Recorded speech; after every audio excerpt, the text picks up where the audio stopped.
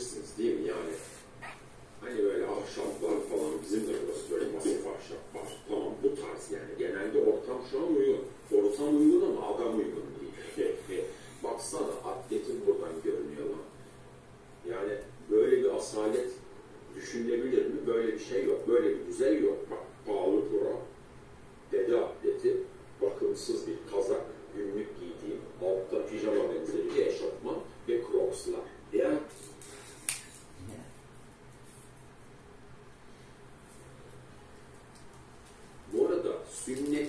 edilmemiş burayı asla içmeyeceksin. Doğrudur. Neden?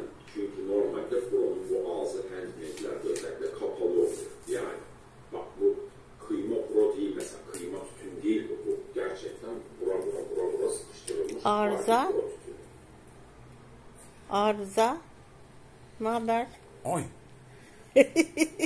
Bastım seni.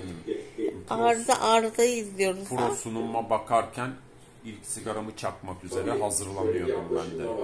Akşama yeni geçiyoruz. Bakayım Fron'a. Saate bakayım. Böyle 11'e 5 var. Bu Adıyaman. Evet Adıyaman. He.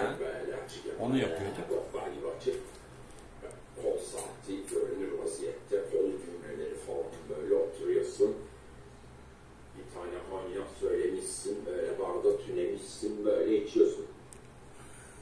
Keşke Konya'da İnanın yaparsın. Erkekler, Remezan diye ve tabii ki yapma. önemsiz kadınların dikkatini üzerinize çekeceksiniz bu durumda. Tabii. Yani Pro sunumu. sen İstişare ediyorum şu an. Tefekkür halindeyim. Ya karizma ya. Oh, karizma. maşallah. Savaş da o tutuyor elinde ya. Büyük karizma. Saat de